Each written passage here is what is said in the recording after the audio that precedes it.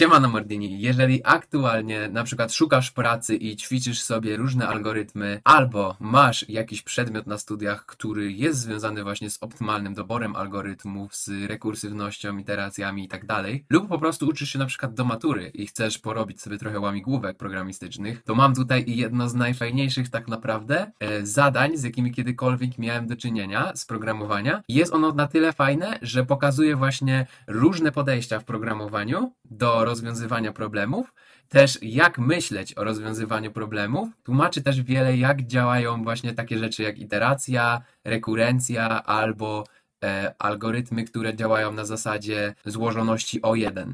Więc tutaj za mną macie mój stary filmik z Instagrama, który kiedyś nagrałem i zrobiłem tutaj parę fajnych grafik, więc będę to puszczał po kolei. Ogólnie w tym zadaniu chodzi o to, że mamy znaleźć najlżejszą piłeczkę i mamy też tą balansującą wagę, na którą oczywiście jeżeli położymy cięższą rzecz i lżejszą, to ona pójdzie po odpowiedniej stronie na dół.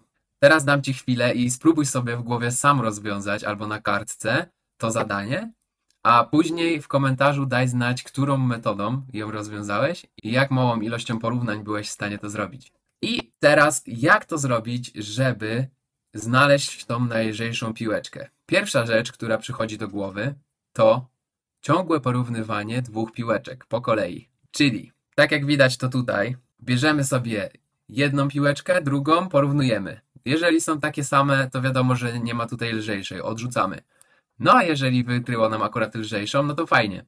I maksymalnie, w najgorszym wypadku, ile będziemy to robić razy, to jest n podzielić na 2, czy też właśnie te 4 razy, tak? I to jest właśnie iteracyjne podejście do tego problemu. Ale co gdybym ci powiedział, że można to zrobić mniejszą ilością porównań? Co teraz? Spójrz na ten przykład tutaj. Jeżeli zaczynamy od porównania czterech, porównaniu czterech piłeczek po jednej stronie i czterech po drugiej. Teraz, jeżeli je porównamy, to wiemy, że po jednej stronie ta waga się przechyli i tam będzie ta piłeczka lżejsza. Bierzemy te cztery piłeczki, które są lżejsze, w których jest jedna z tych lżejszych i dzielimy to po dwie, dwa i dwa. Znowu ta sama sytuacja. Po jednej stronie staje się lżejsza i wybieramy dwie piłeczki, w których jedna z nich jest tą lżejszą. I kolejny raz dzielimy na pół, porównujemy i znaleźliśmy tą lżejszą. Za maksymalną ilością porównań trzy razy.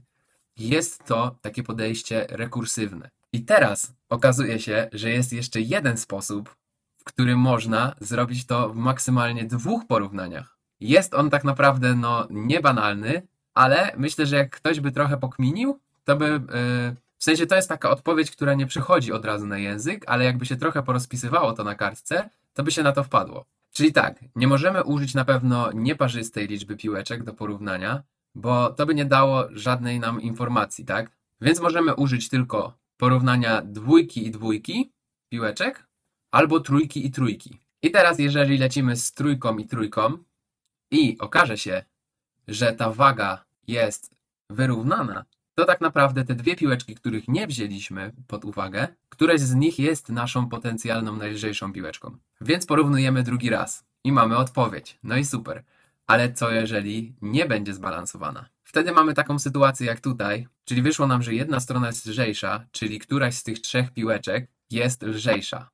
Czyli możemy odrzucić wszystkie pozostałe. I te, które były na wadze, i te, których nie mierzyliśmy. I porównujemy wtedy obojętnie, które dwie.